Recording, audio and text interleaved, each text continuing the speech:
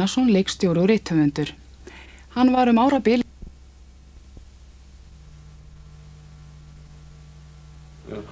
Hvað segir að hesturinn heiti? Ég heyrði það ekki alveg. Hann er sokki. Nú, á hverju heitir hann það? Bara Já, hann líka á hverju? Þetta er eins og sokkurinn? sokkur. Já, Hann var bara skýrður það. á hverju? Ég veit það ekki. Og hver skýr hann? Ég veit ekki. Það prestur? Prestur. Hestum ekki var í, í kirkju. Góðir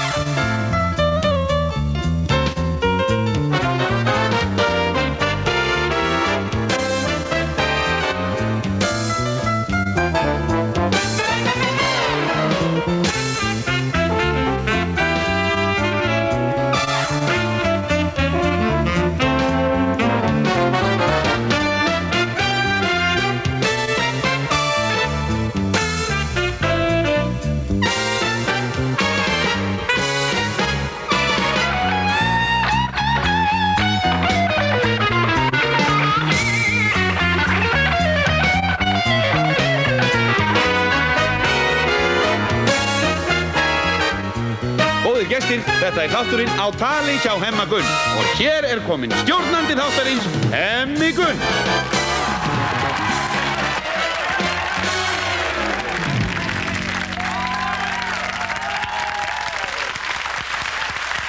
Já, takk fyrir. Gott uh, kvöld, kæru vinnir, þakka þess að frábæra mótökur hérna, gott kvöld, kæru vinnir um land allt og uh, ekki síður góði gesti minni hér í sjónvarsal sem er heill, fríður og fengulegur hópur emmeringa, ef ekki taka með stæl!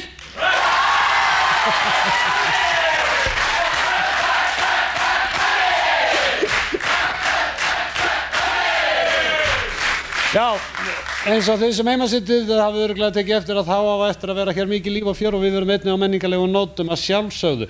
Hljómsveitin okkar frábæra er á sínum stað og uh, við komum víða við að venju, fjölmargir gestir koma til og heiður okkur með nærveru sinni hér í kvöld en uh, að uh, það er svo gott veður úti hér í höfuborginni og vonandi er það nú um land allt að þá ætlum við að bregða á leik, senda hér galvösk ungmenni út af örkinni og ég ætla að snara mér í þetta snakka til að koma þessu öll í gang og nú er að velja krakkar einhver að hressa, þannig að allir hressir hérna.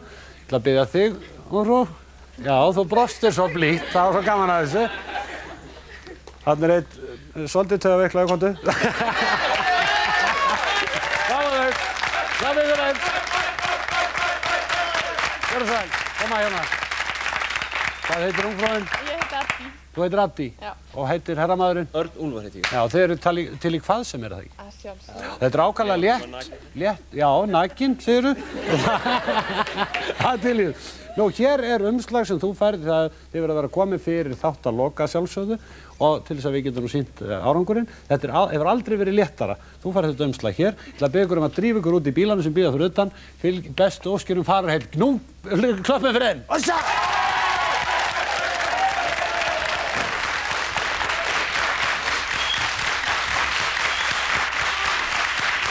Já, jæja krakkar og þeir sem heima sittið, ef þú vissi nú hvað þau ætti að fara að gera, núna fara þau beint út í bíla sem eru hér. Nú annað þeirra fer á veitingahúsi Hotni nýri miðbæ, annað fer á veitingahúsi Ítalíu. Það sem þau eiga að gera er það að þau eiga að læra að baka pizzu með stæl og snúa og, og leika sér og ekki ná með það heldur verður þau að skemmta gestum þessara veitingastaða með, meðan að pizzan er í ofninum og svo eiga þau að hittast á öðrum stað í bænum þar sem verður þau eiga að borða þessa pizzur saman náttúrulega og svo á þriðja staðin þar sem þau eiga að skemmta aftur og þá með dansi. Þau eiga að vera komið hér, þetta er mjög létt og leikandi þannig að við hugsaum bara hlýtt til þeirra. En uh, það er eins og ég sagði í upphafi, margir góði gestir og það er eins gott að byrja einhver staðar.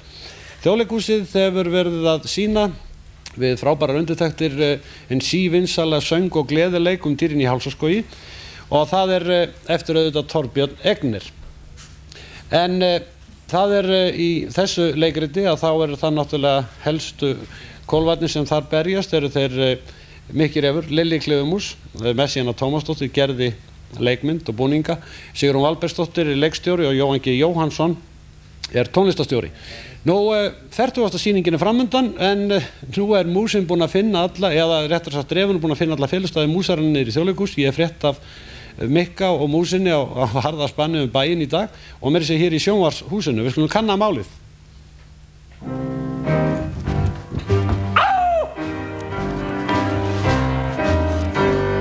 Hér mætir mikki sjá með mjóa kló á tá og mjúkan pels og merkisvip sem mektar bokkar þá. Ég ligg í leini þétt við lágan runn og klett ef lykt ég finn hver lítil mús er löngum illa sett. Ég kalla gagn með kló í músarðskinni þá kveð ég gefð mér brauð úr þínu þinni. Ef Ísland neytar mér og máski stympast hér Heið einn og tveir og þrýr og þá með þökk jétin er Á! ah, hver ætti sér nú að koma? Ætti sé ekki Lilli Klifurmús, honum skal ég ná. Og nú læti ég sko ekki leika á mig. Ég ætla að fela mig hér. Og þið mér ekki segja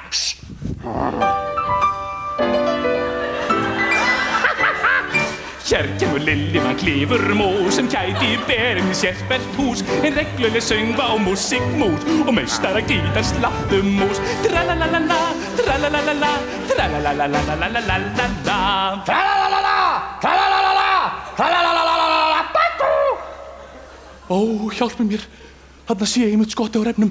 Shhh, Hermann, shhh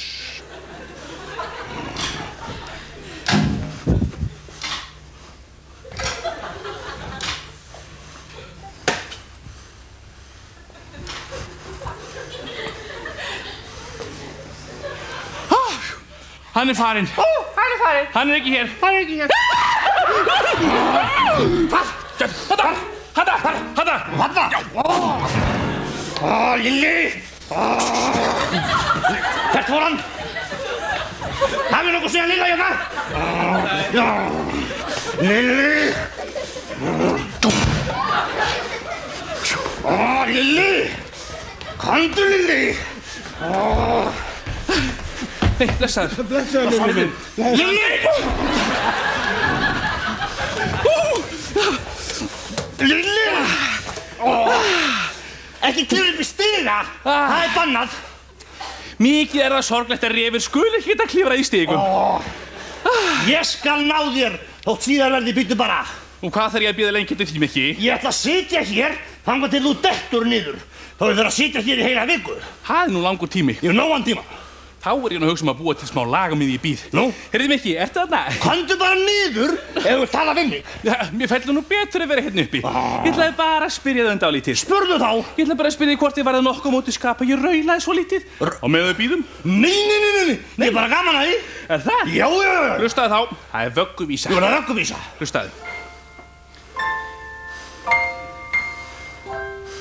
Dvel ég í drauma höll og dagana lofa.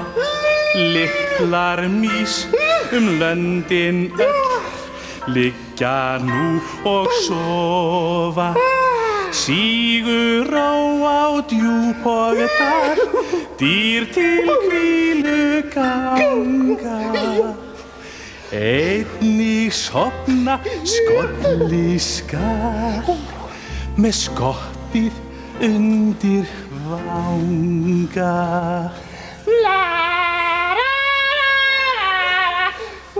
Á ég að syngja meira fyrir þið efur? Er hann sopnaður? Er hann sopnaður? Já, sss, ás, ekki hafa átt svona vakn ekki. Sss.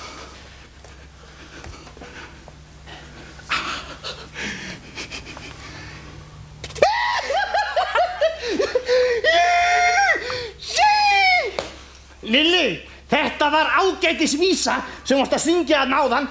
Ég vildi svo gjarnan bara fá að heyra hana aftur. Lilli, láttu ekki eins og sért ekki hana. Ég sé þið vel. Sjáu þið hann ekki líka? Er hann farin henni? Hvað er hann? Ó, Lilli, er að kjafti! Takk að þér henni. Lilli.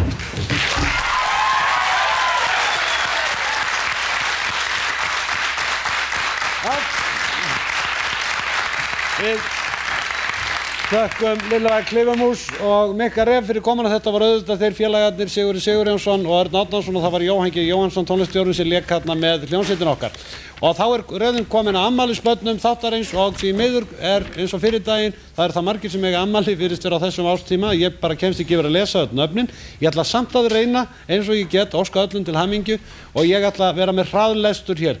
Ingimar Davíðsson Akureyri 7 ára, Svavar Gauti Stefánsson Bóðagranda 12, er 12 ára, Guðmundur Guðjónsson Borgarnes er 13 ára, Magniða Tómasdóttir Reykjavík er 20 er 24 ára. Magnús Sigursson, Arnartanga, Mosilbæ er 55 ára, Birna Guðrún Einarsdóttir 4 ára og amma hennar Sigrún Karin Holdal er 52 ára. Birgir Ingolson Patrísveri 50 ára, Ólafur Þór Jónsson Borgarnes er 1 ás, Ágústa Stefansdóttir Hafnafyrði er 40, Rolf Jóhansen er 60, Sigurður Þorberg Sigursson frá Akureyri er 37 ára. Og sjálfur Guðjón Harðarsson á Seðisfyrði 40, Birgir Freyr Þrastarsson Þúfubarði, Hafnafyrði er 6 ára. Er svo mikil romsakrakkar, klappið aðeins fyrir þessu öllu þessu fólki. Aðeins að... En, já, nei, það kemur á eftir. En, því að nú er rauðin komin að ammali spötnum þáttarins, það eru tvíburar í Hafnafyrði, þeir Sigmar Ingi og Sævar Ingi Sigurgersinir. Við sláum á þráðin þeirra krakkar og þá syngjum við náttúrulega með ammali stefinu með við sláum á þráðin til fjögur ára gafanda tvíbura í Hafnafyrði.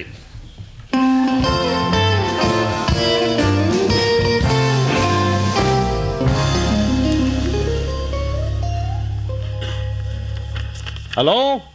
Já, Góða kvöldið. góða kvöldi. Já, hvað heitir þú? Sýfa, Þú heitir hvað? sýfa, Sigmar Ingi. Og er til hamingju með ammælið. takk fyrir pakka.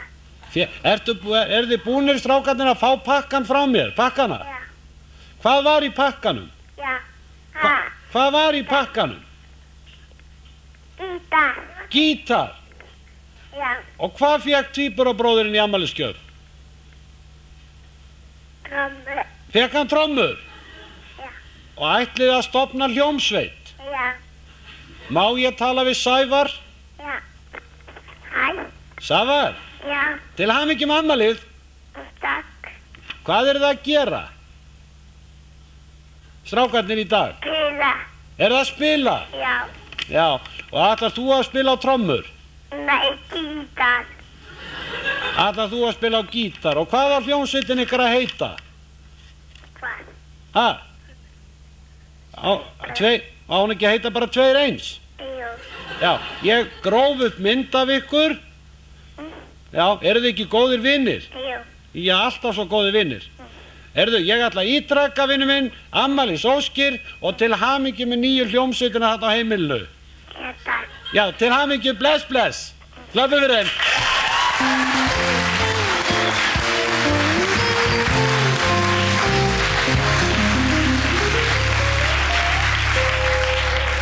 Fjóra ára tvíburabræður í Hafnafyrði sem eru þarna konum með hljómsveit uh, í væntanlega óþökk foreldrana en, en, en þetta er gítar og tróma og ég frétti það að þetta væri efsta óskalista þeirra. En uh, það er nú kunnari frátur að segja við höfum oft verið með frægar landstektar og jáfnvel elendar hljómsveitir í þessum þáttum en það er ekki síður ánægilegt þegar við uh, gefum tækifæri í nýjum hljómsveitum og höfum nú gert talsvöld að því í gegnum árin. Nú, uh, ymmit í kvöld kemur hljómsveit fram í fyrsta skipti og hún heitir því skemmtilega nafni Sigtryggur Dýrafurus. Hún stígur hér sín fyrstu spor eða plokkar strengina í fyrsta skipti af einhverjum krafti. Þetta er rock hljómsveit og ætlar að uh, leika lag eftir gítarleikara hljómsdarinnar Jón Elvar Hafsteinsson sem margir þekkja undir nafninu Jónsi og lagið eh, er og text eftir hann sem heitir Ég get og ég hef í fyrsta skipti Sigtryggur Dýrafurður.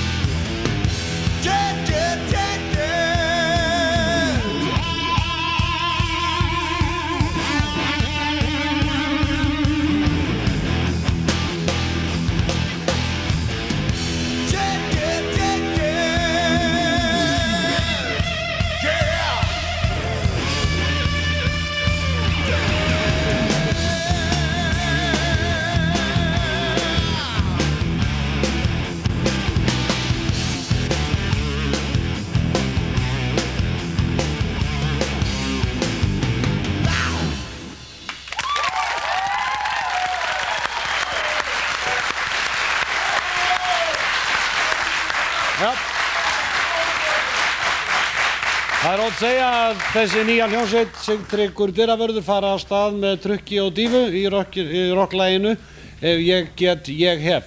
En þá er komið að því að draga endanlegi velunarleik Ríkisútarsins og uh, sjálfkrafa þáttakendur í þeim leik voru allir uh, greiðendur útvarskjaldsins sem stóðu í skilum. En í síðasta þætti að þá dróum við út nöfn þeirra nýju sem að uh, fá velun að þessu sinni. Það eru sjö vinningar, er tvöfaldur vinningur, sjö tvöfaldir vinningar á ettu hótelum í heila viku í sumar og svo eru tveir tvöfaldir vinningar líka á söngvakeppni Európska sjónvastöða, Eurovision sem haldið verður á Írlandi. Og þá er ekkert annað en að eh, kalla þá velun að hafa hingað í, eins og við lofuðum og þeir koma nú inn og ég ætla að byggja mennskjál emmeringana um að uh, klappa hressilega fyrir þessum uh, uh, velunahöfum sem koma nú hér í salin þau eru að koma hér inn í sjónvarp í fyrsta skipti. Tökum vel á móti þeim þegar ég les þau upp og klöppum jaft og þétt fyrir þeim. Alexander Benediktsson. Átni Þór Guðmundsson. Brynjólfur Jónsson. Friðfinnur Einarsson. Guðrún Ó. Pétursdóttir. Hafsteinn Garðarsson Harald Þorsteinsson Hildur Símonadóttir og Ragnar Axelsson. Já, þetta eru þetta eru þeir nýju veluna hafar eða fulltrúar þeirra öllu heldur. Og skemmtilegt þau eru allstaðar að af landinu. Og til að hjálpa mér við að draga þá er hér ung gullfalli stúlka Kristín Hlín Pétursdóttir. Strákar og stelpur, takk ég vel á mótinni og ég ætla þá bara að byggja þig Kristín Hlín um að Uh, hér er spilastokkur sem hún Kristín er með og það eru spil þeim satt uh, tvistur og upp í nýju, tvistur, þristur, fjarki, fimma, sexa, sjö, átta, nýja og ás. Ásinn verður ferð til Írlands, söngakefna og nýjan. Hinnir, uh, hinnar, hinn spilin gilda sem sem viku ferð. Og nú ætlum ég að byggja ykkur um að draga upp í ermuna á ykkur. Ég ætla að byggja um að bjóða dömónu fyrst að draga. Ég held að það sé rétt. Við erum ekki með neina kallrembu hér, um það hún ekki við. dömund að draga, nú draga ég við öll eitt spil og uh, ungi maðurinn svo.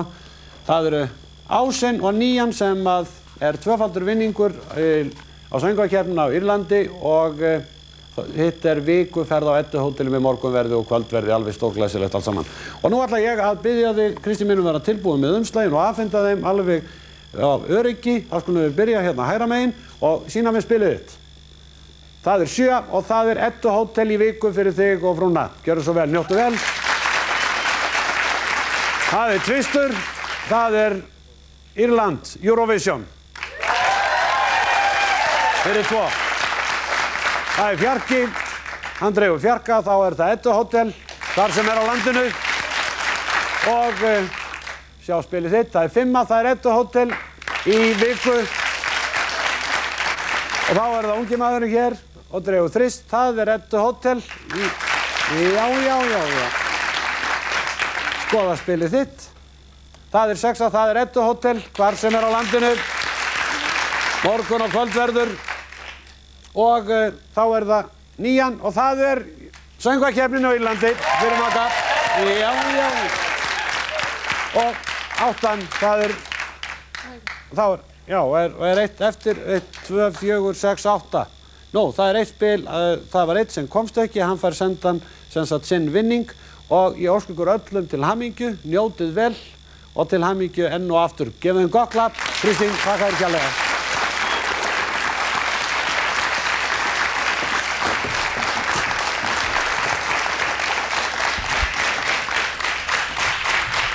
Aldeilis heppin, skilvísir greiðendur útarskjálsins en eh, hvað í kross það er komið að því að við fáum uh, lífsreglurnar okkar og hvaðan fáum við þær og höfum fengið í undanförnum þáttum auðvitað frá börnunum okkar beint í æð. Gjör þið svo vel. Herðu, nú komum bráðum páskarnir. Mhm. Tvö ár. Komum páskarnir eftir tvö ár. Já. Nú, er búið að breyta því eitthvað? Nei, þau, þau koma bara eftir tvö ár. Herðu, hvað finnst mömmu skemmtilegast að gera? Æ, henni verður skemmtilegast að fara á ball Nú, hvar? á, á Breitalsvík. Erst þú óþæg stundum? Nei, Alveg satt. já, Ekki plata? nei, Nei, maður ringi mömmu og spyrir hana. já, Þú ert aldrei óþæg. nei, Má ég sjá tunguna núna? Er þetta alveg satt? já, Ertu aldrei óþæg? nei, hverju kemur rigning og af hverju kemur sól?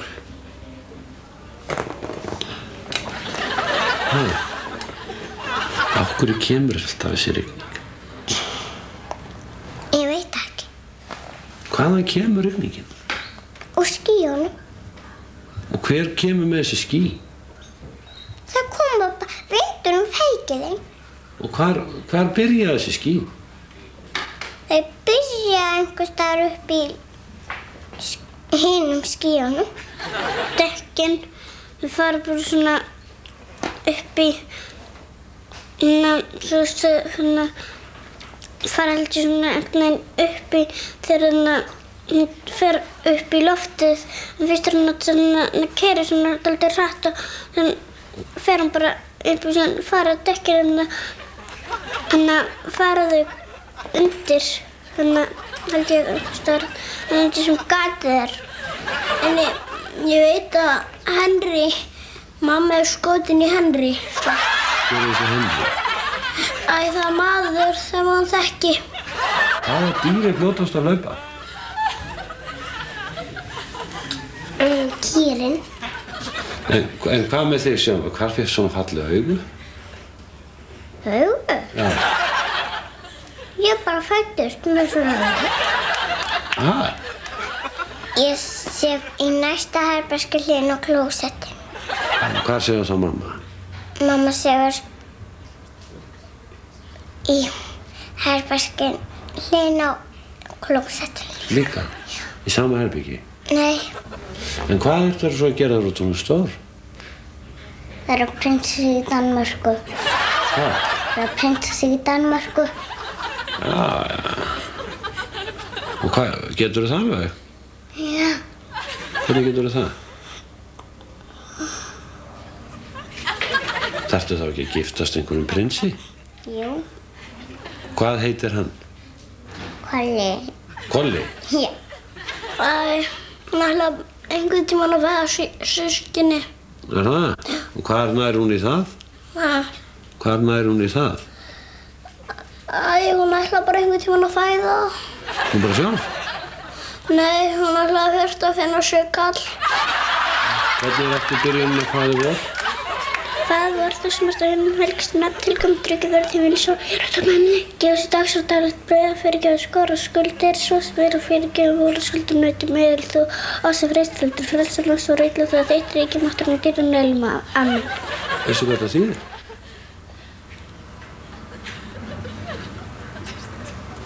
Og þú ert að vera söngkona. Kannski eitthvað með bubba? Hvað? Hvernig bubb?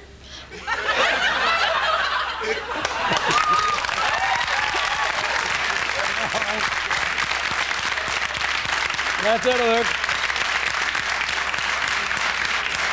Það er nú alltaf sem að þau gefa mér jafn mikið og, og ef við gætum nú bara byrt allt sem þau segja þessar elskur, það er alveg... En það er komið uh, góður gestur sem heimasittið og, og uh, vinnir hér í sjónvarsal og þau öll sem það er komið aðalgestur þáttarins. Hann er uh, löngu landsfrægum maður, búinn að vera í ábyrðastöðum í menningarlífi Íslandinga, hann er gammal MR-ingur og verið þjóðleikustjóri, leikustjóri, dagskrástjóri hér í sjónvarpinu og víða komum við sögu eins og ég segi í okkar viðburðar ríka menningarlífi. Ég við tökum vel á móti Sveini Einarsinni.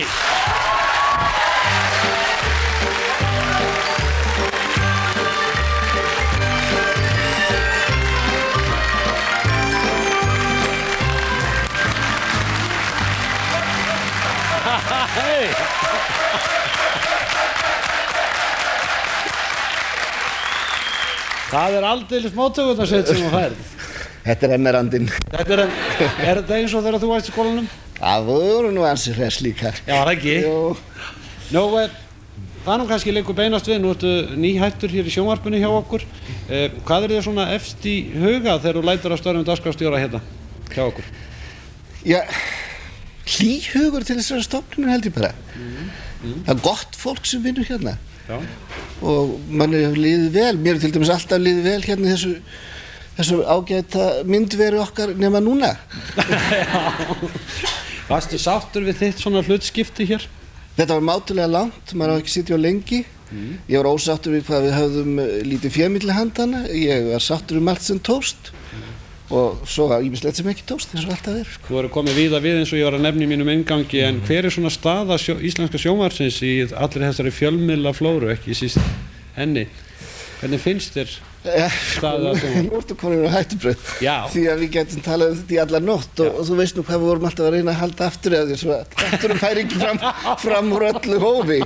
Ég er búin að brengja allt í þetta. ekki að segja það að, að hérna, þetta sé menningartæki og við meðum aldrei gleyma því að þetta sé jafn, á, áríðandi eins og eitt þjóðleikús til dæmis. Hér koma, í þjóðleikúsi koma jafnmargir einu ári og sjá til dæmis þennan þátt í kvöld.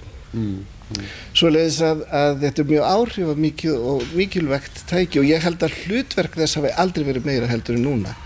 Og svo segjum við ekki meira um það. Ekki orðin það meira. Nei, ég, þegar, ég, maður, þegar ég byrjaði þá voru allir að spyrja mig allt mögulegt. Já. Núna væri ég miklu færari til þess að svara því, en það verður að vera öðrum vettvangi. Ég var að reyna svona að byrja á því að tíund alla titlana þína sem þú er sleppa ábyrðastörfum. Þú er búin að vera í svona í ábyrðastörfum í hvað 24 ár. Uh, er svona metnaðagjall? Ég hugsa nú allir listamenn séu svona hóflega metnaðagjörnir og verði að vera það. En ég er kannski hóflaust metnaðagjörn fyrir hönd íslenskar menningar. Mm. En þarft að stjórna? Já, þetta venst. ég, var- ég hef ekkert sótt e- sóst eftir því en, en ég kann því ekkert illa heldur. Í þínum fjölmörgu störfum, uh, í menningagerunum, hvað hefur verið ánægjulegast? Það hefur nú verið hvað upp á sinn máta. E, í rauninni hef ég verið svo heppinn að fá að fást við það sem ég hef ánægja af og þykir skemmtilegt og, og e, það er mikil gæfa í rauninni. Nú, uh, hvað er í krossveit? Uh, örstutt, um, ég veit þú alveg upp í Reykjavík innan um bókmyndir og, og listir. Uh, hvaðan rekur ættir þínar? Nú við erum Íslendingar allir hver undan öðrum svo þess að við erum, Jú, jú. við erum hérna komnir allstaðar á landin, ég er komin frá uh, úr Skaftafjörðsíslu í föðurætt, uh, langt, langt aftur í ættir. Ég er reykvíkingur í fjórið eða fymta lið í móðurætt og svo er ég kona galdraköllum á vestjörðum. Mm. Var ekki langamæði eins og þetta sérstakur? Langamæði? Jú, það, það, þetta fólk er allt mjög merkilegt Eh, eins og allt íslenskt fólk er þegar maður fyrir að kynnast í.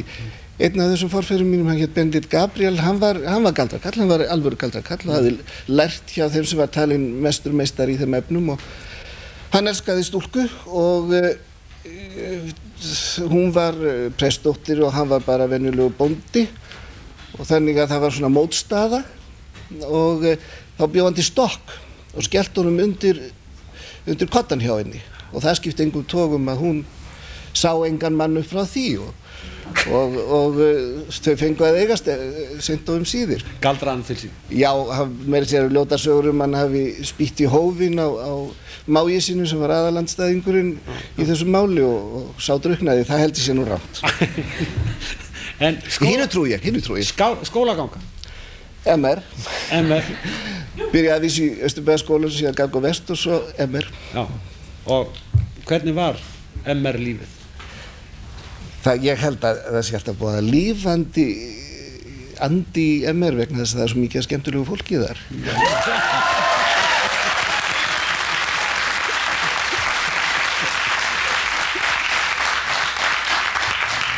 Nú, við vorum náttúrulega reymbast við að læra, eins og ég býst við að þau sé ekki hérna líka. en e, svo voru við aldrei baldinn líka, okkar bekku var svolítið slemmi með þetta. Við, ég man einu sinni þá hérna tókum við umsjónarmannin sem núna er virðulegur hæstaréttardómari og bundum hann og settum inn í skáp og svo áttum við að gefa frá sér merki einhvern tíman í miðju svona þrusk til þess að, að trubla náttúrulega kennslustundina, annars skipti þá vorum við búin að snúa allum borðinu við. Þannig að þegar kennarinn kom inn þá satt hann aftastur það fannst okkur ansig og tilbreyting. Og óskaplega fyndi náttúrulega. Og einhvern tíma þá tókum við eh, hérna tröppu sem var undir, undir það, sem, sem bjallan var. Fundum það út og hún hendaði svo vel á snerilinn á sterknabeknum, A-beknum. Og þá gæti enginn komist út úr honum. Stelpunna voru náttúrulega ungar og sprækar. Þær fór bara út um gluggan en það vera með kennari sem verður verri í gamla dag en í dag. ég, ég veit það nú ekki. En þú ég- líkur þú ég veit það minnst að kosti að, að við vorum daldið slæm að, að taka móti nýjum kennurum. Því að þeir hérna og það, það er voðalega ljótt maður á ekkert bara að taka vel á móti ungum og nýjum kennurum. Og til dæmis Guðni þegar hann byrjaði þá vorum við eitthvað að söngla svona ekki eh, bara í virðingaskíni svo fór hann með okkur í selið og kendi okkur fullt af söngum sem hefur fyllt árgangnum og eftir þar þá sungum við alltaf af fullri virðingu fyrir honum Fyrir og gerum enn í dag Auðvitað. En Guðna eftir, rektor eftir stúdenspróf, hvað gerir þú þá? Það fyrir skálholt eða eitthvað? Já, það í skálholt. Það var mjög eftirminnilegt og skemmtilegt sumar. Við vorum þar vikapiltar Jökull Jakobsson og ég og reyndar Sveinbjörn Björnsson, háskólarektor og, og þar gerðist nú maður skemmtilegt. Segum frá því. Já, það merkilegast og eiginlega eitt, eitt af dramastí- dramatískasta sem ég hef upplifað á æfinni það var þegar að eh, kista eh, Páls Biskups Jónssonar fannst. Stendur í sögu hans að, að hérna, hann hafi verið settur í steinkistu og síðan er mjög svona áhrifamikil frásögn af því þegar hann dó að þá pípraði jörðin og skalf og, og það var myrkur eins og miðjan dag og skífall. Og hvað heldur hafi gerst þegar við opnum svo kistuna fjögur, 640 ára síðar eitthvað svo leiðis. Þá bara gerir helli dembu og verður bara myrkt eins og miðjan dag nákvæmlega eins og líst var þarna í, í sögu Páls. Þetta er ótrúlegt. Þetta er ótrúlegt. Þetta var svolítið eftirminnilegt, sagt. En uh, áður en við snúum á kannski að leiklistastorfininu, þú dráðum fyrsti leikústjóri í Iðnó, að þá uh, er nú kannski rétt að, uh, að fá út úr þér nákvæmlega hvað þú lærðir. Ég var fyrst eh, í Svíþjóð í háskóla, svo var ég í París í, háskóla og svo var ég í Svíþjóð í háskóla. Og hvað lærður þú nákvæmlega? Eh, Fyrst lærði ég bókmentir, heimspeki og leiklistarsögu og tók próf í því. Svo var ég framhaldsnám í samanbyrðu bókmentum og leiklist í, í París og svo, var, svo tók ég svo kallar lísensiatspróf í hérna í Stokkólmi setna þeir lögðu það nú nýður fljótlega eftir það Alveg, það er ekki til Sprenglarður í menningunum. nei, að, nei. Ég, ég laði ekki annað en að hafa menningarlegt atriði hérna fyrir því meðan við gerðum hlýja á, á spjall okkar og uh, það er skamt stóra högg á milli hjá Íslensku óperunni. Nú er, uh, eru byrjað síningar á óperettunni Sardast fustinjun eftir Emrik Kalman og uh, leikgerð og, og leikstjóri Kjartan Ragnarsson, Pál Pambillir Pálsson er tónlistastjóri og Sigurðum Jóhansson gerði leikmynd. Jó, það stendur allt fast í mig bara. En uh, þetta er viðfræg operetta sem að uh, er stór skemmtileg og glæsileg hjá Íslensku óperunni og á mikinn heiður skilið fyrir þetta framlag. En uh, við höfum, og fyrir þig Sveit, að þá er rétt að fá þetta listafólk til þess að mjög mikil ánægja. Heit, já, heiður okkur hérna alveg sérstaklega. Mikill óperumaður. og uh, það er uh, stórsöngvarðir, óperusöngvarðir okkar Sigurður Björnsson og Berður Pálsson sem ætla að tæla Bja, Bja, Bessa Bjarnason í djammið í Budapest. Og uh, þá kemur sínusotn úr stórglæsilegri síningu Íslensku óperunar og Sardarsfustinjunni eftir Kalman. Sveit, áhörendur, gjör þau svo vel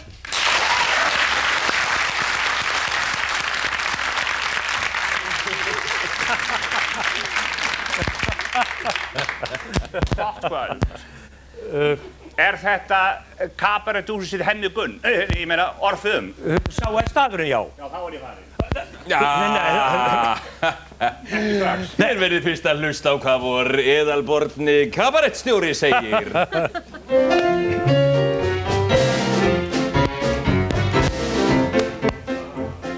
Allar er að sofa og sólamornin lofa en svalli fram og nætur kætir mest.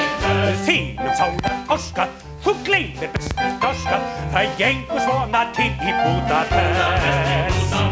Gáskir eina vörnin, við gleðjumst eins og börnin, er nýja stjörnur kom í kastljósið. Ég er eldri heimsins maður, hræ og dans og tissi klók, mína vegi geng ég gladur hér í dag að nótt. Já, allir gleyma aldrei Og höfnir nöldast aldrei.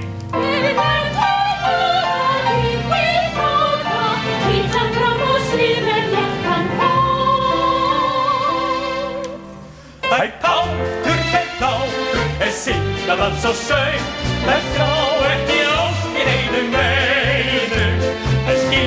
það vilja, að einrók er laug, það neyða, það veiða, með hörnum einum. Það skrá ekki nátur, er sína mönnum söng, það sýn ekki tæstum einhver flýja. Í breytilegum trúðafall, þá breytist líka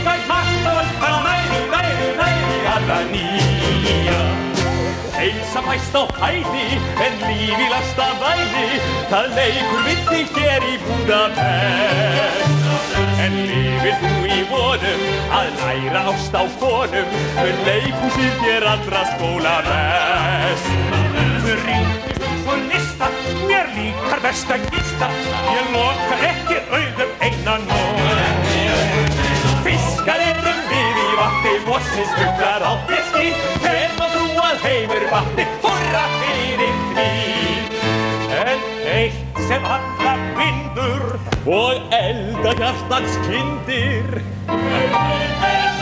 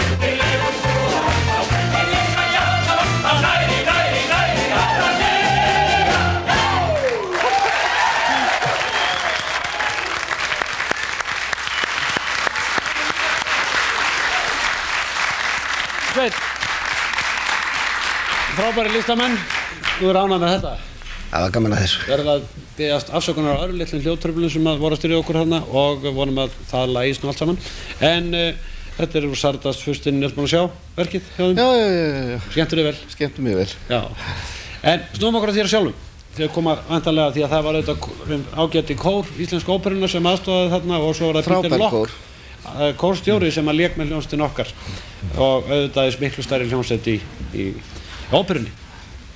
En leik fyrsti, ég sagði það áðan, fyrsti leikústjóri í Iðná, hvað 1964, 12 ár þjóðleikústjóri, sögur og leikúsi, takk fyrir. Fyrir nú hægur. Leikstjórar fá aldrei að vera með sko, það er alltaf að vinna sem leikstjórarnir er að gera svo, svo þegar sýningarna byrja og ferður út á landið eitthvað svo leiðis þá fara að gera slutirnir sem, Já. sem eru frásagnaverðir á hinn bógin nú einn frægasta svona saga það er þegar að leikfélag Reykjavík fór með Delirium Búbónis. Held að vera á Búðardal og það var feiknarlega aðsókn og og eins og sagan er orðin núna þá satt fólk í gluggakistunum og hjekk í ljósakrónunum því að það var svo yfirfullt. Já. nú svo er það eh, frækt trikk í leikhúsi þegar einhver þarf að fara til helvítis eða eitthvað svona hverfa að þá fer hann niður um gólfið en í þetta sinn þá voru áhörund það brotnaði gólfið og bara dumpaði niður með alla áhörundi svo sátu þeir þarna og, og það var nú gefið kostur á því að fara út og reyna að laga þetta en fólki neitaði því það var komið til að sjá sitt leikrit og stóð bara svona og horfði á leikrit Bara hausarnir upp? bara hausarnir upp, það smætti var þetta í búðardal? Það var eiginlega svona svipað, það var öðruvísi, við vorum einu svona ferð uh, með þjóðleikúsið, já það voru 15-16 leikarar. Og uh, þjóðleikúskórin, 30 manna lið og fórum um uh, byggðir Vestur-Íslendinga og það var óskaplega gaman, það var ekki þurrt tár í salnum nokkuð tíman á þessu sýningum Nei. og uh, einu sinni þá, þá söng kórin í sundlaug í Red Deer. Og uh, þar stóð Karl Billy og stjórnaði og það sást ekki nema bara þetta í hann og svo hendurnar, það svífur fyrir ofan en allir voru í vatninu. Ofan í, Ofan í vatninu? ofan í sundlauginni og annars skipti þessar sömu ferð þá hérna festist hann í, í umferðaumþveiti og við áttum að, að koma fram á einhverju útíháttíð og góður á dýr. Og það fréttist bara að hann væri fastur að vera ekkert við þess að gera og Gunnar Eyjólfsson sem er nú ráðsnjall maður hann hljóp í skarði en uh, þykist nú aldrei hafa verið sérstaklega söngvinn en mikið lifandis óskup lék hann vel hérna kórstjóra. Já, það ekki. það var mestara prestasjón En eh, ég get ekki látið hjáli að, að við uh, Vigdís, okkar frábæri fórseti, Vigdís Sveinbáðdóttir, hún tók við að þér. Sér leik, fór hún í smiðu til þín? Hún fór öruglega ekki smiðin til mín til þess að læra að verða fórsett Nei, til þess að verða leikstjóri, leikustjóri. ég veit ekki alveg, við lærum ekki hvert af öðrum í þessu, þessu, þessu leiklistar stússi okkar. Uh, var þetta skemmtilegt starf, eða svona brauturinn starfið þarna í einu? við, já, það var það í rauninni vegna þess að við höfum mikið meðbýr og það er alltaf notalegt, það er skemmtilegt að finna fólk meðmanni og, og að maður er í sókn og ég held að við höfum verið það. Það var En, svona eh, landvinningatími Ef við snúum okkur örlítið meira að þér, ég er búin að heyra það og ég veit að þú er svona fagurker í listum, er það í öllum listum? Matarlist til dæmis. þú sér nú hvernig komið fyrir mér þú ert áhuga maður, er það ekki matarlist? ég hef það gaman að því, það er alveg rétt ég, ég, Elda sjálfur?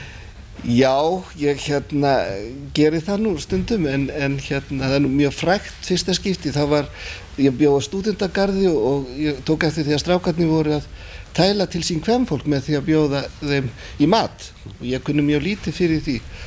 Og e, þá var ég svona farin að stíði vengi við mína konu.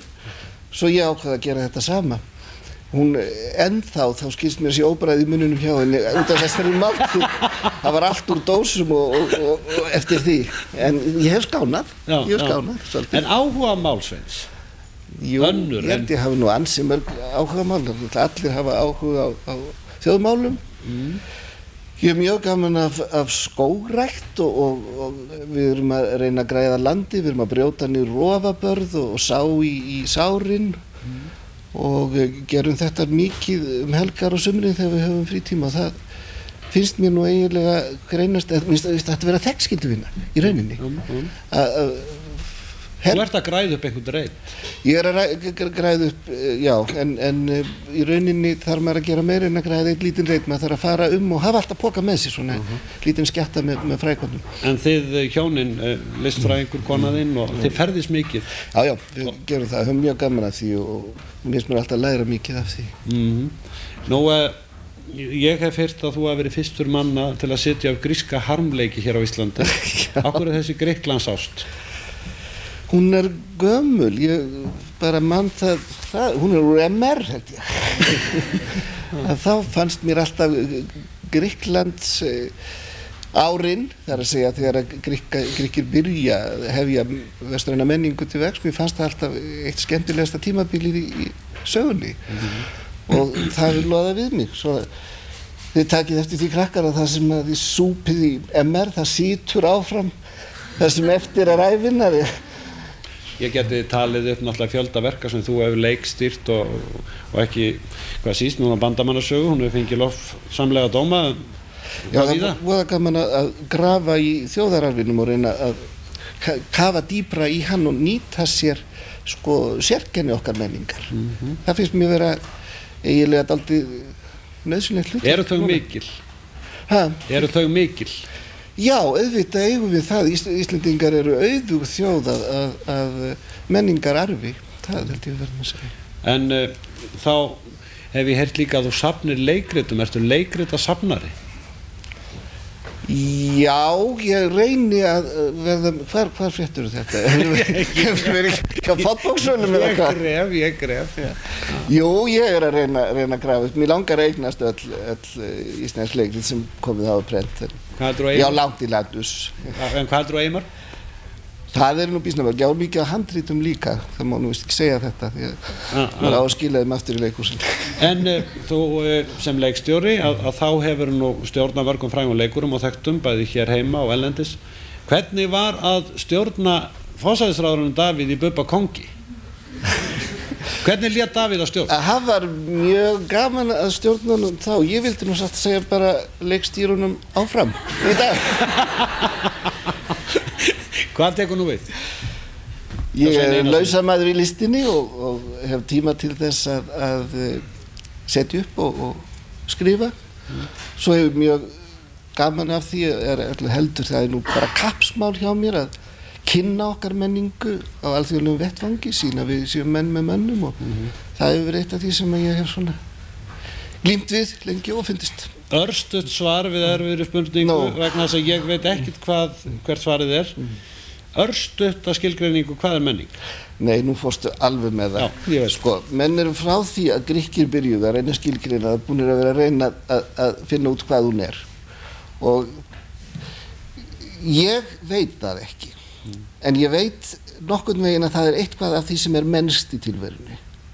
Og það sem er mennst finnst okkur af því við erum menn.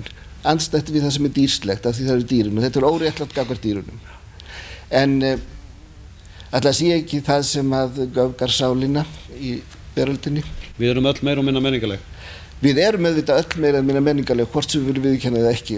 Ég vildi nú helst að við viðurkenna það öll og hærum eftir því. Ég þakka í kjallaði fyrir komuna sveitn og fyrir ánægilegt samstarf af liðnum fjórum árum og óskar allsins besta í komandi framtíð. Þakka líka sem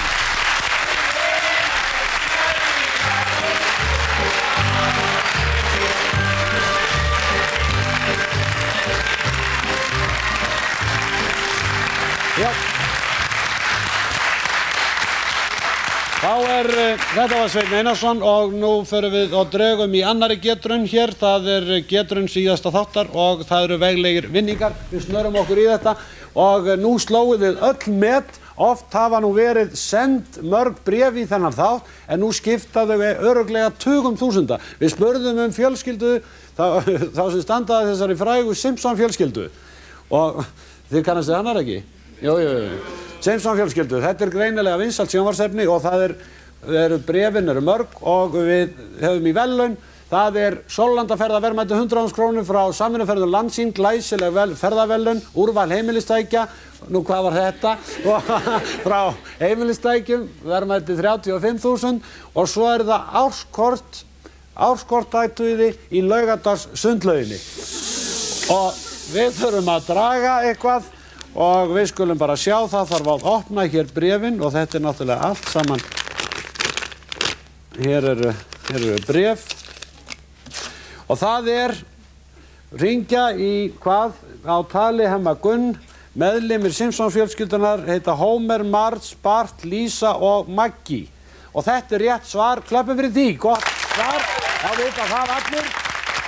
Og það er uh, Helga Skúladóttir Suðurhúsum 1112 Reykjavík sími 67 67 50 80 og 3 og við skulum sjá hvort að hún er heima þetta er uh, það er uh, Simpson fjölskyldan stórkostlega Halló, já góða kvöldið góð kvöldi. Helga Skúladóttir Já, það er hún. það er hún, Salbessi Hemmigun heiti ég Já, kontur sæl. við erum á tali hérna og ég þakka þið fyrir brefið hárrétt svar Já, fín. já glæsirinn, þú horfir á svo þætti Já, já, ég gefur það. og felljart með það Já. Nú, en e, þá ætla ég bara að byggja þig um að draga þín verðlaun og það er 1, 2 eða 3 eða 1, 2, 3 Sólarandaferð árs, hefur ferð í sundlöðarnar Já, já. það er áskort í lögarnar og svo úrval heimilistækja Já, flott. Hva, eru áður en þið dregur, hvað gerir þú Helga? Ég vinn í apoteki. Þú vinnur í apotíki Já. er það ekki bara ljómandi gott? Jú, það er fín. Skemmtileg Já, Herðu, 1, 2 eða 3 það er tveir. Við ætlum að fá þyrli hjá honum gera Númer hvað? Númer tvö. Númer Númer 2, ég heyri ekkert orðið Númer 2 og við skulum sjá Hvað dregur hún? Það er árskort í laugardagsvögin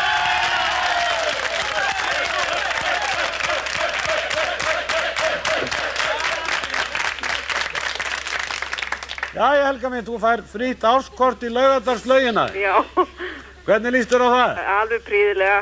Er það ekki? Jú, jú. Og uh, þú, þú syndir bara alveg fram að næstu geturinn að minnst og tekur þátt í þessu hjá okkur áfram. Já, já. Og til hamingju, gefur þér gott klapp. Takk fyrir þetta.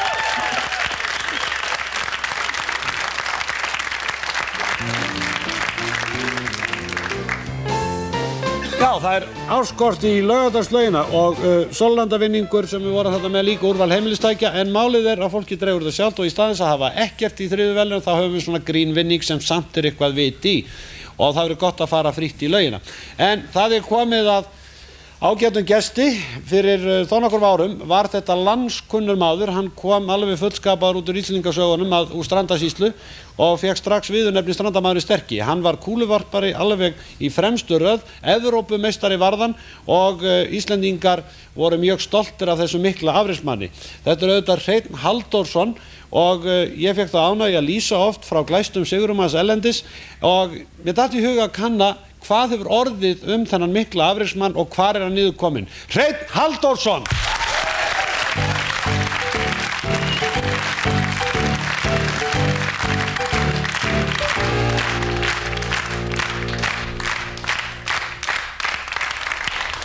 Vandur blessaður Hreinn og velkomin. Væri blessaður, þakka þér fyrir. Ég var að segja, herru, það er ekki, það er ekki sjón að sjá því maður. Hvar er allir vöðnir? Þú varst nú sem þið þykkari, upp á því besta. Réttir það. Hvað varðum um strandamann, Svein Haldursson? Það er spurning Hvar var íþróttavellinum? Hvar byrjum við? Já, nei, hvar, þegar þú hættir keppni? Uh, þá fór ég beint austur á Ílstafi. Já. Og uh, má segja að ég hafi bara flúið Reykjavík. Já, var, var það aðdándur eða hvað? En hættur þú þá strax að keppa eða hvað? Já, reynda var orsök sem lág á baki þess að ég fór hérna á bænum. Mhm. Og það má segja að ég hafi verið skorin niður eins og ég hafa stundu sagt. Því að uh, ég fekk í bakið og var skorin í brjósklossi og ákvað þar alveg að hætta. Ég hreinlega var búin að fá nóg. Mm. Nefndi ekki að vinna með það aftur. En, og það hafi verið ákvörðin, svo ákvörðin hafi verið tekin hjá okkur mér og konu minni fyrir löngu síðan að þegar það kemur upp og ég hætti þá færum við úr bænum. Hvernig var, eh, nú fórum við saman félagarnir í nokkuð margar keppnisferðir, ég að segja frá þínum afreikum eins og við verðum að tala um hérna áðan. Hvernig er nú að minnast þessara eh, tíma þegar þú varst bara bestur í Evrópu í kúluvarpi? Þetta er kannski ósagt hjá þér ég hafi verið bestur í Evrópu. Þú varst Evrópu meistari. Já, réttir það. Já. Að uh, þetta eru mjög góður dagar, eða voru mjög góður dagar og gaman að minnast þeirra. Mhm. En ég held ég ekki, vildi ekki uh, standa í þeirri vinnu sem líkur á baki þess að vinna sig þarna upp aftur. Mm. En þegar svona handbóltalandslið okkar er að taka þátt í keppninni eins og núna, fer ekki fyrringur um þig svona keppnis? Jó, og ég set ekki úr færum að horfa á. Já, já. Eh, til dæmis í gær, þó illa færi. Já, við stöndum með þeim. Nú, hvað ertu svo helst að gera í dag? Já, eftir ég kem hérna austur að þá uh, hef ég eiginlega síðan verið með Íþrótahúsið á Ílstöðum og sundlöðinu svo inn á milli og þar fyrir utan þá hef ég verið að kenna á bíl svona því má vera að því nú þetta er það sem við kemur vitni vinnu og svo eru félagsmálin svo hef ég verið að leika mér í skóla ég dendi mér í mentaskólan eftir ég kom austur og uh, núna ég kláraði hann reyndar með frá vinnunni og núna er ég komin í kennaraháskólan í þessu fjarnámi sem byrja eftir áramótin. Já, svo er spurning hvað ég helst lengi þar. Ná að gera. og, svo er meira reyndar ég sagði félagsmál og uh, ég fór í verkefliðsbáratunum sínu tíma og var stofnað félag óbæra starfsmann á Östurlandi var þar í tvö ár og ég hef verið í öðru sem er kannski svona nær mér heldur en allt hitt. Og það er varandi tónlistina. Og uh, það er félag sem heitir Harmoníkufélag uh, af Flóstasýraði og uh, þar hef ég verið nokkuð viðlóðandi og nú er svo komið að þetta harmoníkufélag hefur tekið að sér að halda landsmót harmoníkufélaga. Og það verður á eigilstöðum núna að sömri og ég lendi þar óvart ég fórsfæri fyrir þetta, þetta mót. Mikil hátíð og, og Þetta verður mjög mikil og hátíð. fjör. Já, Koma erlendi gestir, er það ekki? það koma erlendi gestir og koma tveir að frá, annar kemur frá Svíþjóð og kemur frá Finlandi þetta eru ungir upprændi snillingar mjög góðir. Annar er 16 ára sem kemur frá Svíþjóð og hinn er 18 ára sem kemur frá Finlandi Svo er, svo er og svo kemur eh, í þennan hóp eh, okkar eh, albesti snillingur Bragi Hlýðberg og það verða sérstaklega tónleikar með þessum mönnum. Nú þessi lagakeppni, eða ég sagði lagakeppni, það er kannski ofalega í huga mínum að ég sagði lagakeppni, það verður lagakeppni á þessari hátíð.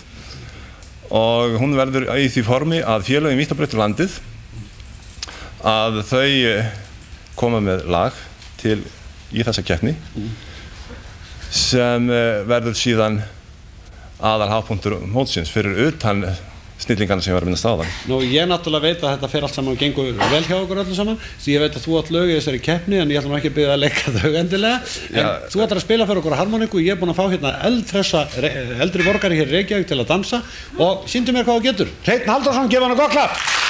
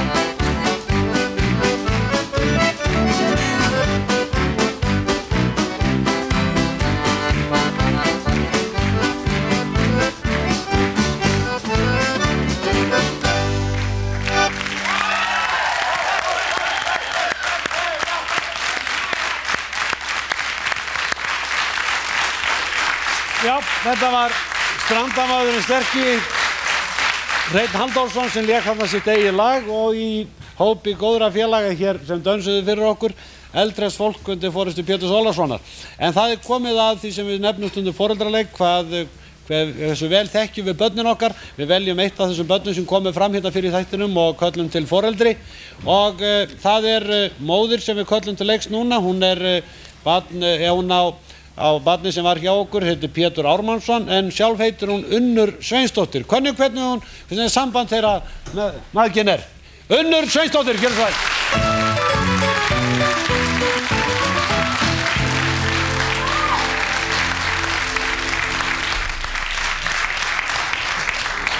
Sjálfblessun og velkomin.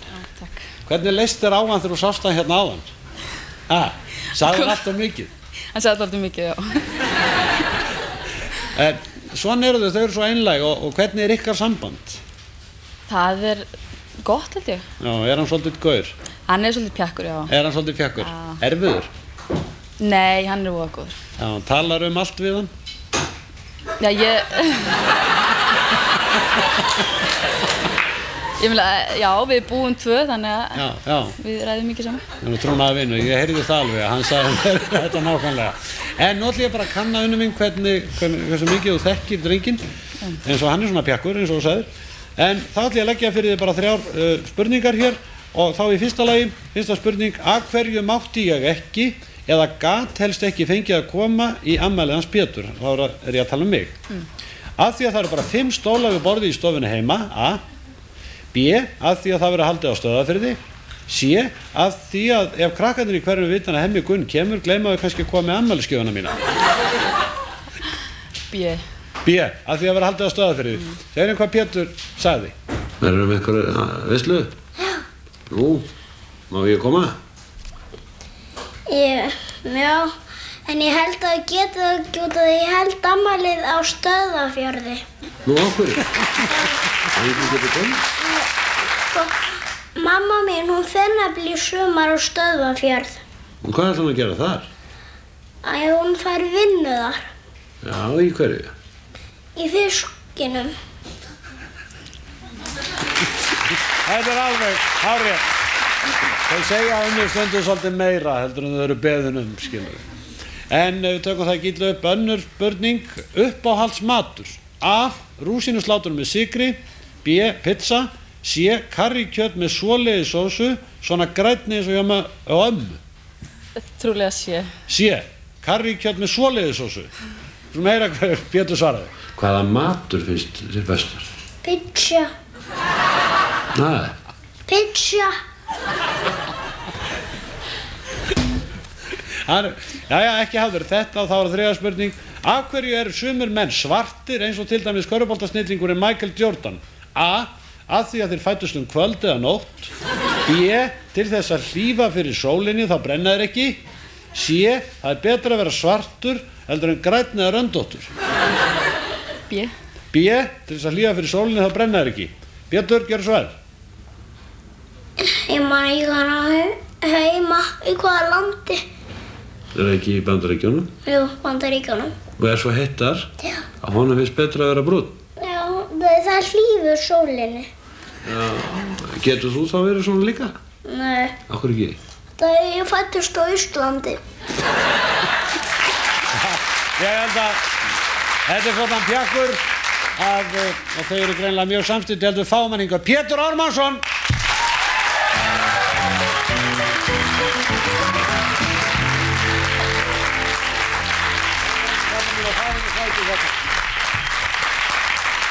Æja, Pétur. Já, svona. Æja, hvernig finnst þið mamma að standa sig? Vel. Já, er það ekki?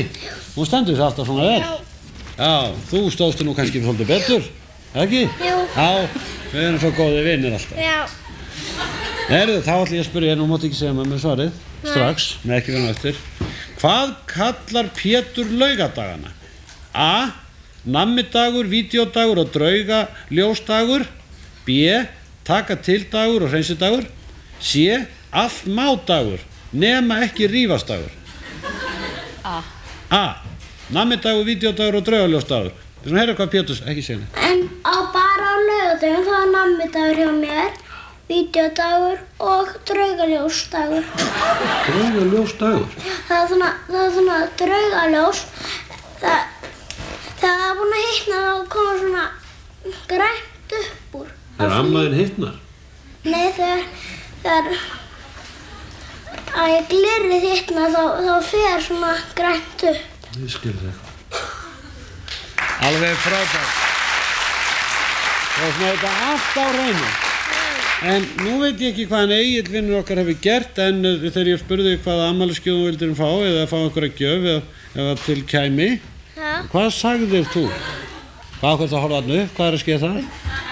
En hvað, ég veit ekki, en þú vildi fá markmanns hanska var ekki, eða hvað sagður, vorum við með það, vorum ekki, og hér er það sjáðu, stættu nú hérna upp Pétur, það sem þú fær, skatt á fætur, þú baðst um markmanns hanska og þú komdu hérna fram fyrir, sjáðu, þetta er húa, þetta er svona rás, þetta er eins og bestu markmenn í heimi.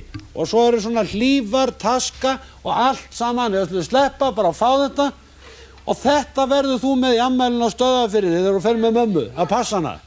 Já, og er ég að fá að kissa þig, hemmi frændi og já, ég er nú þessi ekki frændi en við erum bestu vinnir og til hamingju þegar þú átt ammæli.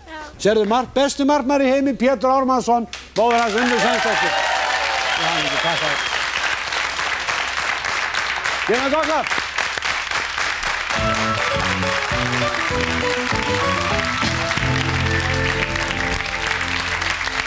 Það er að gera svona.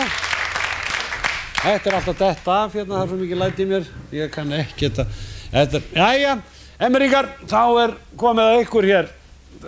Tvö af ykkur eru nú út í bæ, en ég ætlaði nú einmitt að hafa þetta. Það er komið að því að við flytjum hér í sjónvarsal ásáttíðalag framtíðarinnar sem er sér að gefa út á plötu, en fyrir nefndu skólans að döfi. En þetta er auðvitað ekkit af einhverju plötu frekar en annað efni, hér er allt leikið af fingurum fram. Nú þetta lag sem að eh, er eftir þar Kristbjörgu Kari Solmundsdóttur og Margréti Siguradóttur heitir Bombaldi Togga Barons. Nú þær syngja lagið og þeim til aðstofur eru Drífa Björk Alladóttir og Áslaug Haldunadóttir og auk þeir eru þrýr emmeringar í hljómsveitinu okkar, þetta er svona úrvals hljómsveit í kvöld. Það eru Ragnar Örn Emilsson, Una Sveinbjarnadóttir og Stefán Örn Gullnaugsson. Ég held að við gerum allt vittlaust. Emmer, gjör þið svo vel!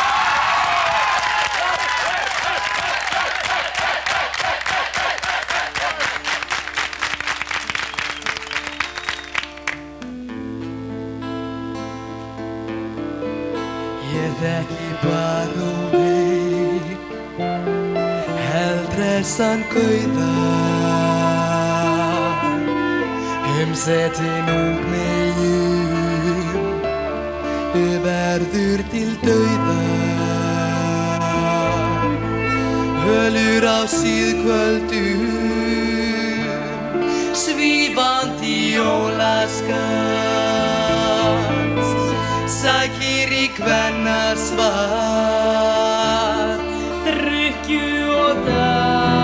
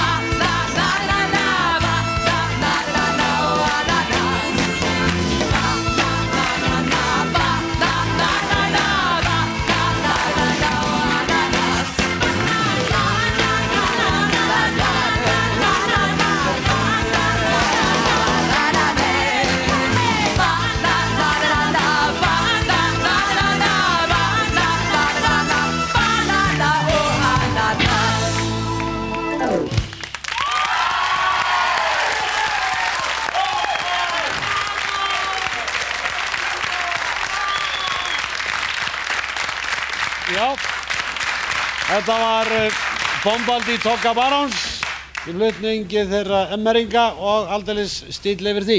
En uh, það er ekki farið fram hjá neinum að íslenska landsliði handbólta í gær við heimsmeistra Svíja og stóð sér bara ljómandi vel í 45-50 mínútur. Þetta var eins og við var að búast.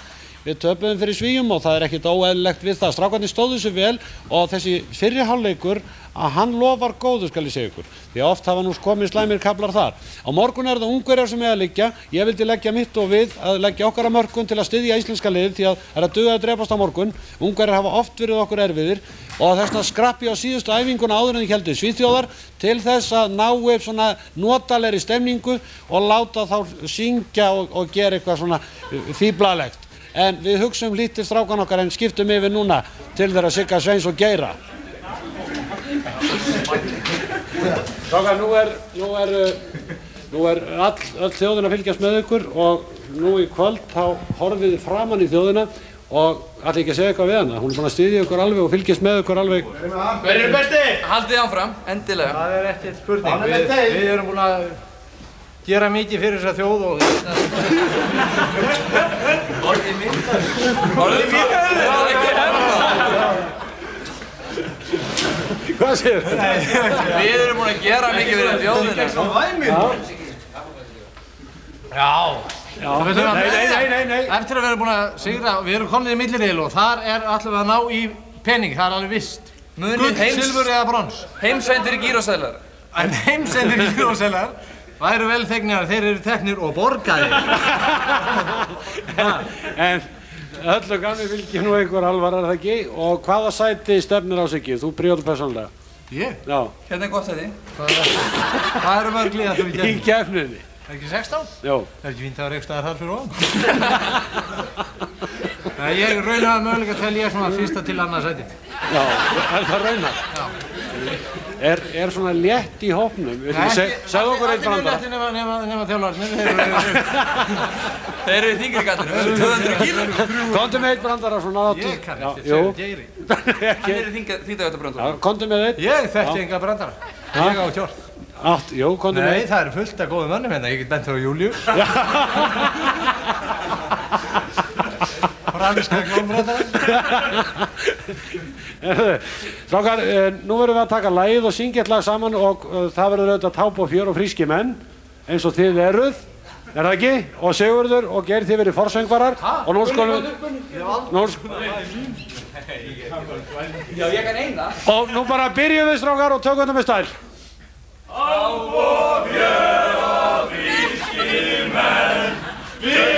La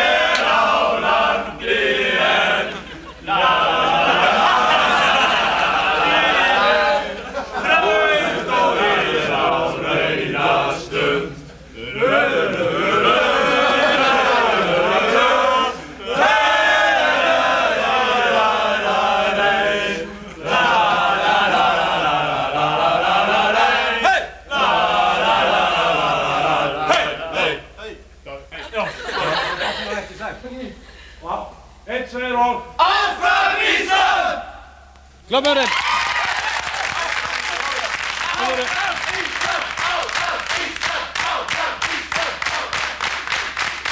Já, strákanir, strákanir taka nú afkomendur Kalmans um eitt uh, á morgun ungarina og fara létt með þá. Það er létt í að þeir kemist nú ekki í kór íslensku óperuna frekar heldur ég, en, en það er nú ennur saga, þeir skilta að spila handbolta.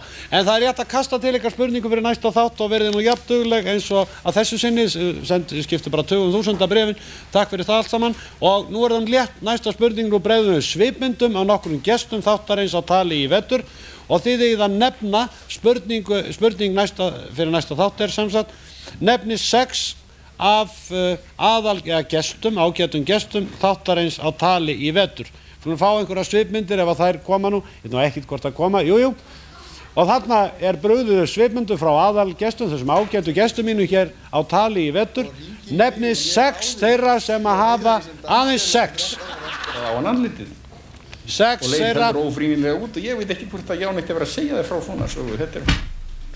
og hann, fæði minn sem er nú spaugsamur að hann segir eitthvað á þá leið Ég átti von á bara mjög skemmtilegri söngva og grínmynd. Já, þú lofar því Ég skal lofa því. Þeir voru stundum kallaði skoti titlingur eftir snjótitlingum sko. Já, já, já, auðvitað. Þeir myndu á... En kúreki það er eitthvað miklu meira. Já, þú hefur ekki haft hæfileikana hefur minn til þess. En kvöld og svona og sagði, heyrðu, kendi mér aðeins að trommi, ég var bara að spila morgun. Já, svona til að byrja með þá er ég frekar ákveðin eða kannski svona frekja. Já, þetta er einfalt og spurningi fyrir næsta þátt nefni 6 af þessum ágætu gestum þáttarins í vetur. Svar sendist sjónvarpi laugu 176 105 Reykjavík mert á tali getrun, undistrykka og leggja áherslu á á tali getrun, verkja það þannig. Og uh, þá er ekkert að vannbúnaði og nú þurfum við að kanna hvort að emmeringar sem við sendum út á mörkin í byrjun þáttarins er að koma og skila sér í hús og við skulum vona að svo sé. Jú, jú, þau eru að nálgast með pizzurnar og uh, þau koma hér galvask inn og nú skulum þið byrja að klappa fyrir þið skólafélagum ykkar. Þetta er búið að vera mikil og erfi raun. Þá koma þau. Og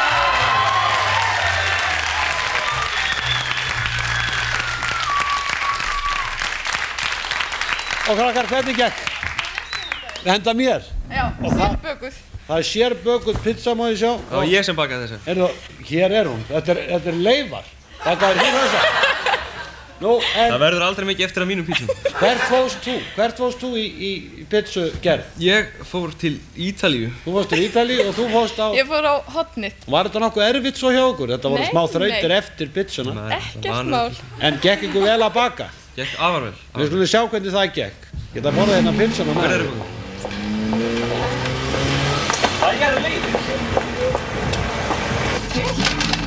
Bacon. Jæja.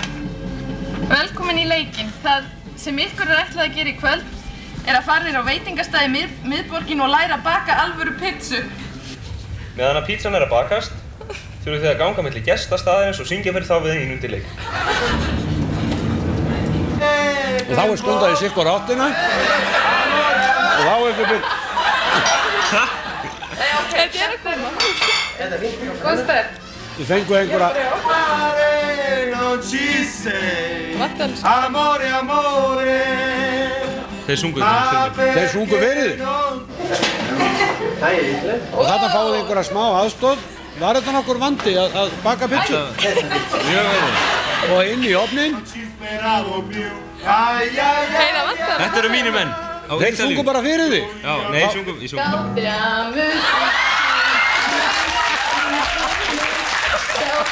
Musikitur, juvenestum sumus, post jucundam juventutem, post molestam senectutem. Það vant þess að ítölsku hjá mér. Þetta er á... Hvernig tók fólki þessu vel? rosalega vel. Og þú spyr... Amore, amore Di studi del ritardo Ma non mi importa più Þið skrifa mjög illa í það.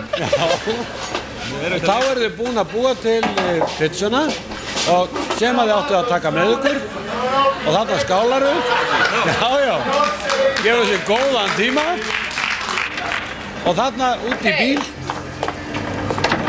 Nei, nei, það var ekki út í bíl, nú var bara hlaupið. nú var hlaupið hjá, hjá þér Já, líka það. já Býttu nú við Þannig er þín gómsætt alveg, ég smakka á henni hérna áðan. Jú, alveg rosalega góð. Það var allir saman það. Þá Það er samt ekki að klára henni. áttu þið að hittast á... Hvar var það sem þið hittust? Pizza!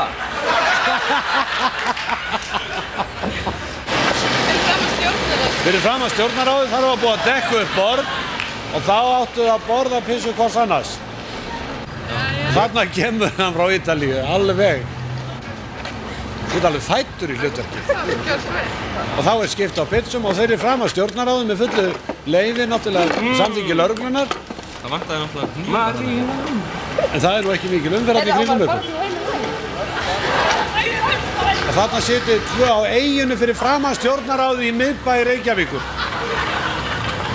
Var nokkuð kallt? Nei. Frábær. Frábært. Já. Mjög gott, ég mæli með það. Hvernig var pizzan, pizzan hennar? Hún var alltaf leið, mjög góð. Ekkert. Hei, húfa. Það var fín. Þarna sitið þið og... og... Veist þú ekki neitt? Jú, pizza. Þetta er komið nóg að þessu.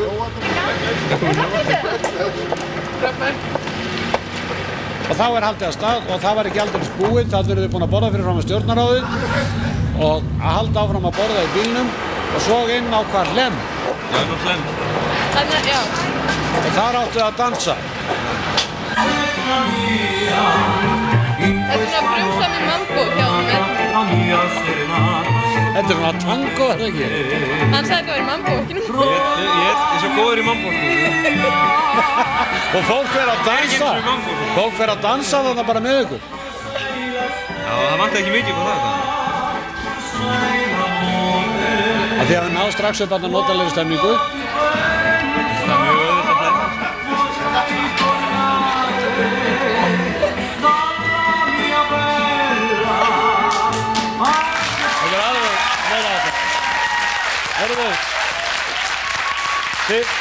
Stóðu ykkur eins og hettur, en uh, þú fórst á Ítalíu var ekki? Ég fór á Ítalíu. Þá ætla ég að gefa þér gefabrið fyrir tvo sem verður á hotnið, veitingastóðið á hotnið.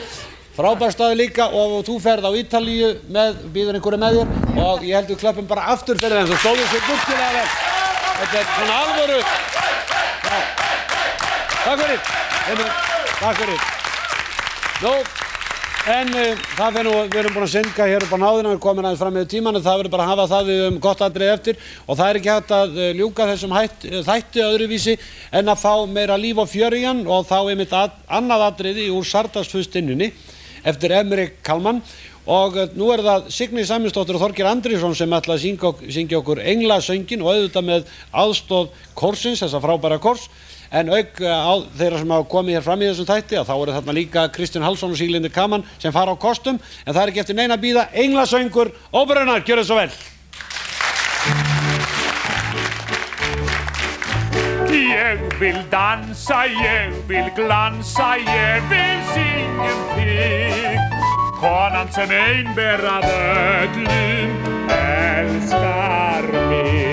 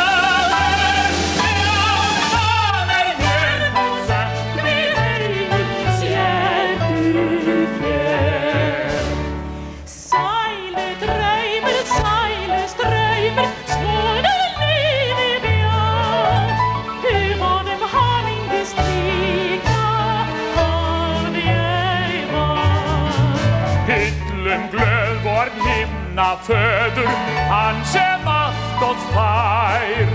föðurlegt hjarta hans fagnar fyrst hann hlær. Ó, hvað þá er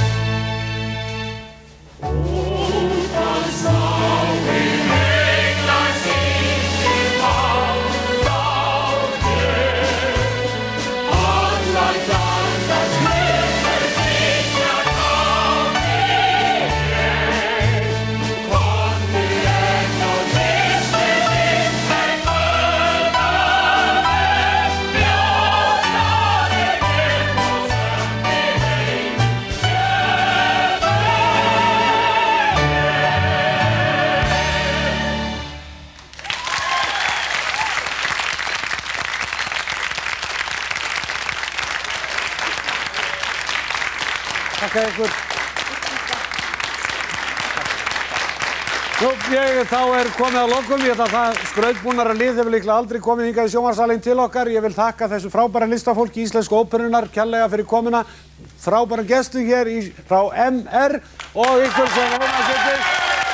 Við, eh, við hittumst að halvum áni í linum, verum góð, verum hress og bless.